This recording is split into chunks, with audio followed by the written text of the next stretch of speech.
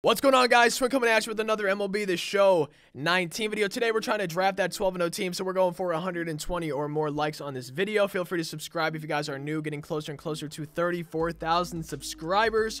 Comment anything down below. Feel free to follow on any of the social medias or sub to the Fortnite channel that is down in that description. Real quick, I just want to talk about the pronunciation of Honus Wagner. A lot of you guys are telling me different things on pronouncing it. Like the most liked comment on one of my videos, or a few of them, are that it's Honus kind of like Santa says ho, you know, like Honus Wagner. And I just want to say that if you go to baseballreference.com, it has a pronunciation. And to me, this looks like Honus, like the way I'm saying it, Honus. Just like that H-O-N-N, it looks like Honus to me. And then if we go to Wikipedia, it says that he was sometimes referred to as Hans Wagner. I know Wikipedia is not the most reliable site, whatever, but Hannes Wagner in his early life, he was born to German immigrants and as a child, he was called Hans by his mother. Okay? And Hans eventually evolved into Hannes. Because Hans is not pronounced like Hones, right? It's pronounced Hans. So that leads me to believe that if Hans evolved to Hannes, that's how you'd pronounce it, you know, Hans, Hannes. I feel like that's just leads me to believe that Hannes is the correct way to pronounce it. And then also on Wikipedia, it has a little pronunciation thing next to his name. And you can click on it and it takes you to a little chart where there's a little backwards A. And for that backwards A, that symbol, whatever it is, one of the examples is John. Han John, Han John, okay? And then you have the second part of his name with the, I guess, backwards and upside down E. And examples for that are focus. So, Han like John, focus. Hannes. Focus. Hannes. You guys see what I'm saying? Like, so that leads me to believe that it is indeed pronounced Hannes, especially the fact that his parents were from Germany and that his name was Johannes Peter Wagner. Johannes, Hannes, and that he had a nickname Hans and then that evolved into Hannes. So to me, it does seem like I was using the correct pronunciation where it is Hannes. So I'm just curious, down in the comment section below, let me know what you guys are thinking about the pronunciation now that we've gone over that stuff. I know Wikipedia is not the most reliable source, right? Um, and then baseball reference, though, let me know what you think of that. Like that capital H-O-N-N. Like to me, that looks like Han but I'm really not sure. Like that's like looking at that, that's how I would pronounce that on the little pronunciation chart, but I'm just really not sure. And I'm curious to hear what you guys think down in that comment section after seeing this information about the pronunciation of his name. With all that being said, let's go ahead, hop into this draft, see who we got. Okay. Uh, let's see. I kind of want to do Al Kaline. I wouldn't mind drafting him here. Have I drafted? No, I have not. Ooh, I'm excited to use this card, actually. I was going to say, there's always new Signature Series cards coming out, and I never know which ones I have or have not used. I always want to use the ones that I haven't used, and I'm excited to try on Al Kaline. His swing's been kind of glitchy for me, at least in MLB 18. I just remember one of his cards in MLB 18 being pretty glitchy for me, and uh, I'm hoping we like him there. Edwin Diaz. Ooh. Man. I want to go Edwin Diaz, but I'm just, I'm scared. Let's see. 368 average with Correa. Okay. Um, I'm going to go Edwin Diaz because my pitching is seriously, this is why. Normally I would do Correa, but my pitching is what loses me games. So I just want to make sure I have good relievers, you guys. So that's why I'm doing him there. Jose Reyes, we're going to grab for now at second. Oh, yo. This is so tough, dudes. Josh Bell live series, this player of the month card, one of my favorite cards in the game. I used him on my main account, his live series. This one once, one or two games here on my uh, my main account, and then I've used him on my second account. Like I love Josh Bell cards, switch hitter, a lot of pop. But Ernie Banks is another one of my all-time favorite cards.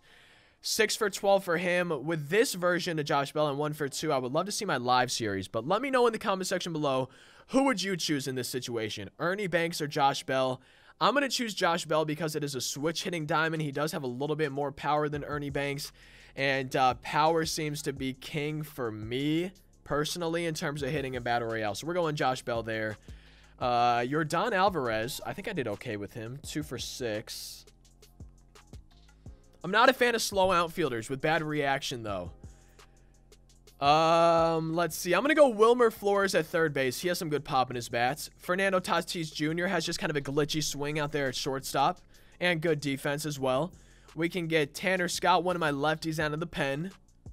Is Lou Trivino good? I don't like his pitch selection. I'll go Jorge Posada at catcher. Why not? We'll go Jorge. Oh, Chris Davis. Yo, this is turning into kind of a nutty team. oh, this is tough, guys. Rollie Fingers, man. He's a great pitcher. Like, this this is all Battle Royale right here. I love Rollie Fingers. I think I got to go Rollie. Josh Hader's a beast, too. This is Battle Royale. I've never allowed an earned run with him in BR. Um, and there's a chance, like, I don't get a good lefty, though. But Rollie Fingers is just so good, man. This card, like... I feel like this card is more usable against lefties than Josh Hader's against righties. Down in the comment section below, let me know if you were in my shoes, you were drafting this team, and you sucked at pitching like I do. Would you choose Josh Hader with a four-seam, a two-seam, and a slider? A little bit better stats, I would say. Uh, at least for some of them. Yo, that control's crazy. Or would you choose Rollie Fingers? Sinker, slider, forkball, four seam with a good track record, just not as good. But a few more innings, more than double the innings of Josh Hader. Let me know who you would choose. I'm going Rollie Fingers here. Uh, I, I just feel like I, I, that that's the move for me. Uh, Addison Reed, one of my righties out of the bullpen, sure. Please give me four common rounds in a row. There's one. There's two. There's three. Come on, where's the fourth? Dang. Uh, yo, Tony Sipp was part of my was part of my 11 win team. yeah, dude, Tony Sipp. yes sir. I, I have to draft him right there. And then just yo, this card's insane for me too. Uh, never mind, he's not as good as I thought. I got so excited. Uh, but people love this card. I do like this card. He's my last lefty in the bullpen. There we go. And then let's see. So I have Rollie Fingers, Edwin Diaz, Justin Wilson, Tony Sipp. Should we do Archie Bradley? I could do Archie. I could do Delino to DeShields Jr. as a pinch runner, though. I just, I really don't want any more silver rounds for these next few things. So, I'm going to go, honestly, actually, I'm going to do, let's see, I'm going to do Jhoulys Chacin. Uh, Tyler Anderson. Let's see. So I need another righty out of the pen. So, yo, there's actually two lefties and one righty. Wow. So we'll go Robert Stock. And then, yeah, that works out fine. I like that. And in center field, let's see. Aaron Hicks. Was I glitchy with him? 304. or Nah. Does he have, like, a Topps Now or a Player of the Month card? I feel like he does. Maybe that's a card I did really well with. I'm going to go Aaron Hicks, though, out there in center field. Just go with the trend of switch hitters like we seem to be doing. And two silver rounds. I want to replace second base. Second base is what I'm looking to replace. Paul DeJong does play second base, so I'm going to get Paul DeJong, and he's my second baseman for now. Let's see. Pablo Sandoval, pinch hitter. Switch hitter is always good. 94 speed, pinch runner backup catcher in case we do need it because sometimes not often but sometimes i will do things for like my my my catcher. And then okay so i don't know.